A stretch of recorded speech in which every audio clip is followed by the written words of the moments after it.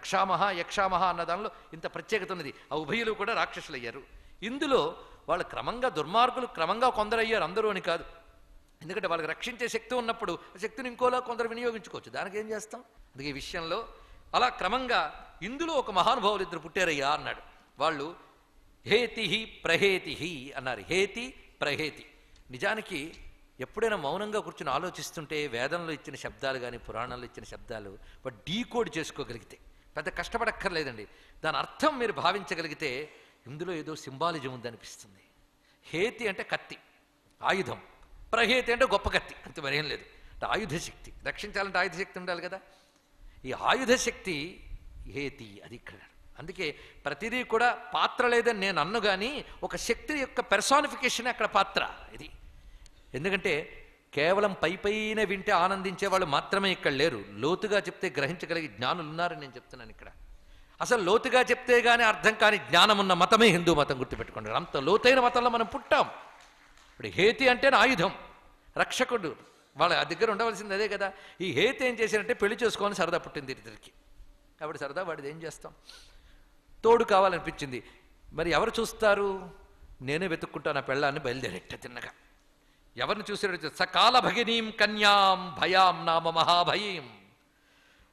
కాలుడి యొక్క సోదరిని ఆమె పేరు భయాట ఆవిని పెళ్ళాడేట. ఎవరైనా భయం కోపం అని పేర్లు పెట్టుకుంటారండి? ఇక్కడే మనకు తెలిసిపోతుంది ఇదేదో అద్భుతంగా మనిషి ఏదో మెసేజ్ ఇస్తున్నాడు మనం తెలుసుకోలేకపోతున్నాం అనేటువంటిది. కాలుడి సోదరి భయం అన్నాడు. అంటే భయం కాలం వల్లే కలుగుతుంది. అవునా లేదా? కానీ కాలం సోదరి భయం అనడంలో రెండు ఒకే కడుపులోంచి వచ్చినవే ఇక్కడ. వాణ్ణి హేతి గడిపి పెళ్ళాడెట్ట ఎవరిని భయాన్ని హేతి పెళ్ళాడిందిట. అంటే ఆయుధము భయము కలిసి ఉంటాయి. అందుకే ఆయుధాన్ని చూస్తే భయం పుడుతుంది. అవునా లేదా? ఆయుధం పట్టుకుని భయం రాదా? అందుకే ఎంత వాచమైనా ఊత్తే పడిపోయేవాడైనా వాడి చేతిలో ఒక ఆయుధం పెడతాం మనం. అప్పుడు మనకి హాయి. కానీ ఆయుధం ఉండాలి. అది హేతి. ఆ హేతి ఉంటేనే వాడికి భయం. కానీ హేతి భయం భార్యాభర్తలు అయ్యాయా లేదా చూడండి. ఇది ఆశ్చర్యం. ఇలా ఉంటే మన కథలన్నీ కూడా ఆలోచిస్తే. కానీ హేతి ఎవరిని పెళ్ళి చేసుకున్నాడు? భయాన్ని పెళ్ళి చేసుకున్నాడు. ఇంకా వాళ్ళిద్దరికి మరొకడు పుట్టెట్ట విద్యుత్ కేశ వాడి పేరు. భలే భలే ఉన్నాయి. కొత్తగా ఉన్నాయని పెట్టుకోవద్దు. రాక్షసుల పేర్లు ఇవన్నీ కూడా. విద్యుత్ కేశుడు మెరుపు తీగల్లాంటి కేశాలంటే వాడికి. వాడు హేతిపుత్ర వీడు మహాబలవంతుడండి. వీడిని కన్న వెంటనే కొండ మీద వదిలేసి వచ్చేసింది తల్లి. ఎందుకంటే ఈ పిల్లల్ని పెట్టుకుంటుంటే సంసారంలో సుఖపడ్డం కష్టమని. ఇలాంటి వాళ్ళు ఉంటారంటే ఉన్నారు. ఈ మధ్య చరిత్రలో చూస్తే నేను నవమాసాలు మోయడం ఏంటి? అద్దెకి తల్లులు దొరుకుతారని అక్కడ అద్దెకి తమ గర్భంలోంచి అండాన్ని అక్కడ పెట్టి పెట్టించేటంత సైన్స్ రాక్షసపు సైన్స్ డెవలప్ అయిపోయింది మనకి. కనుక ఇలాంటి రాక్షసులు అందరూ ఉన్నారు ఒకప్పుడు. వాళ్ళకేమైందో వీళ్ళకే అదవుతుంది. అది కథల్లో చెప్తున్న అర్థం. గ్రహించండి.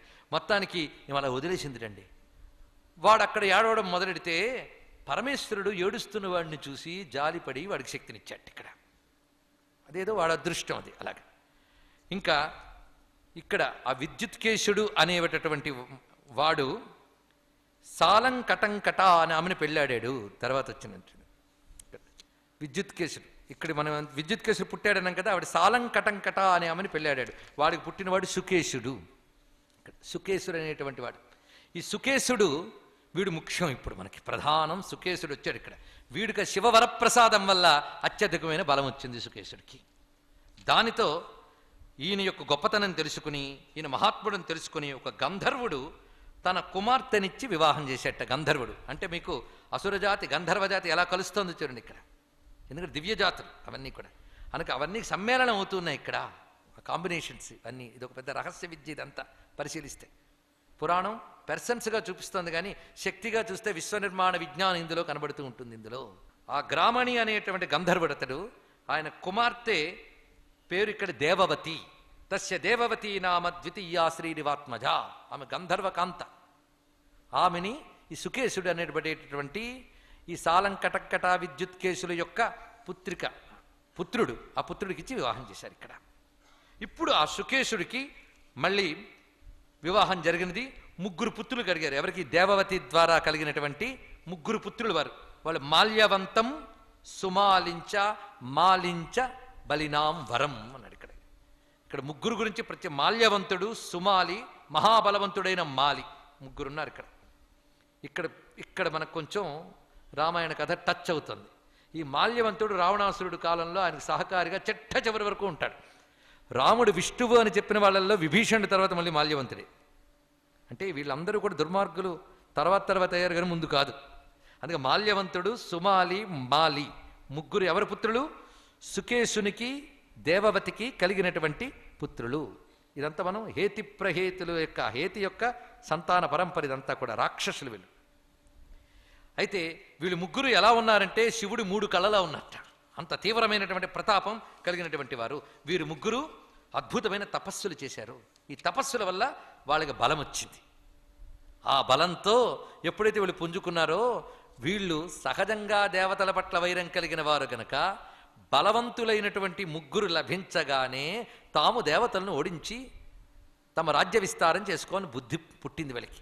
సుకేశుడు కూడా ప్రోత్సహించాడు పుత్రుల్ని. ఆ పని చేయండి మేం చేయలేదు మీరు చేస్తున్నారు. ఎందుకంటే తండ్రి తీర్చుకోలేని కొన్ని కోరికలు పుత్రుల ద్వారా తీరుతూ ఉంటాయి. అందుకే son is the extension of father అంటారు కదా. ఆ విధంగా ఈ ముగ్గురికి కూడాను ఇతను పూరెక్కించాడు. పైగా తపోబలం ఉన్నది కదా ఈ తపోబలంతో వీళ్ళు బయలుదేరట ఎక్కడికి? దేవలోకం మీదకి. ఈ వార్త తెలిసి ఇంద్రాదులు వీళ్ళు తపోబలం ఉంది గనక మనం వీళ్ళని ప్రస్తుతం ఎదుర్కొనలేవు అని పారిపోయారు వీళ్ళు ఇక్కడి నుంచి. ఖాళీ అయిన అమరావతిని మొత్తం ఆక్రమించారు. ఇది కాక వాళ్ళకు కోరిక పుట్టింది. విశ్వకర్మ దగ్గరికి వచ్చి ఏదైనా గొప్ప నగరాలు ఇవి కానివి ఏమైనా ఉన్నాయా? ఉంటే చెప్పండి మేము అక్కడికి వెళ్తాం అన్నట్టు. అంటే అప్పుడు విశ్వకర్మ చెప్పాడు ఈ ఇంద్రుడి కోసం మేము ఒక అద్భుతమైన ఒక నగరాన్ని దక్షిణ సముద్ర తీరంలో త్రికూట పర్వతం మీద నిర్మాణం చేశాము. అక్కడ ఆ నగరం ఉన్నది. ఇప్పుడు వీళ్ళు అన్ని చోట్ల నుంచి పారిపోయారు ఎవరు? దేవతలు ఇక్కడ. అమరావతి నుంచి అక్కడి నుంచి అన్ని చోట్ల నుంచి వెళ్ళిపోయారు కనుక అది మీకు ఇంకా బాగుంటుంది. అటువైపు వెళితే ఉంటే బాగుంటుంది అని సూచించాడు. వెంటనే అది స్వర్ణమయంగా నిర్మాణం చేసేట. ఎందుకంటే అమరావతిలో ఉన్న ఇంద్రుడే నాకు మరో గొప్ప చోటు కావాలనిపిస్తే చేశారంటే అంతకంటే గొప్పది. విశ్వకర్మ ఇంద్రుడి కోసం నిర్మాణం చేసిన ప్రత్యేకమైన స్వర్ణ అపి స్వర్ణమయీం లంకాం. అన్న స్వర్ణమయ్య అయినటువంటి లంక. అక్కడున్నది అక్కడికి వెళ్ళి అది ఎంత విస్తీర్ణంలో ఉందో ఎంత అందంగా ఉందో పెద్ద శ్లోకాలు ఇక్కడ ఉన్నాయి కానీ చెప్పట్లేదు. ఎలా ఉంటే మనకేం ఇప్పుడు వెళ్ళేదో చూసేదా. మొత్తానికి గొప్పగా ఉండేది అప్పుడు. కనుక తిన్నగా అక్కడికి వెళ్ళండి అని చెప్పాడు. వీళ్ళు వెళ్ళారట అక్కడికి. వెళ్ళి మొత్తం ఆక్రమించుకున్నారు. అక్కడున్న దేవతలు ఎప్పుడో పారిపోయారు. వీళ్ళ దాడికి వీరు అక్కడి నుంచి పాలన చేయడం మొదలుపెట్టారు. అప్పుడు ఒక గంధర్వ కాంత వీళ్ళ ముగ్గురు గురించి విన్నది. దేవతను హడలెత్తించి స్వర్ణమయమైన లంకని పాలన చేస్తూ ఉన్నటువంటి రాక్షసులు ఎవరైతే ఉన్నారో వీళ్ళు చాలా ముఖ్యమైన వాళ్ళు.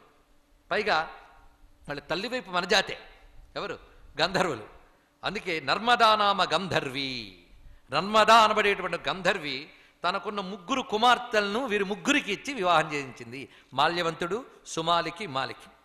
కొంచెం కన్ఫ్యూజన్ వస్తున్నట్టుంది ఎవడు కొడుకు ఎవడెవడు ఏం కన్ఫ్యూజ్ అవ్వద్దు. వింటూ ఉండండి చాలు ఇక్కడ.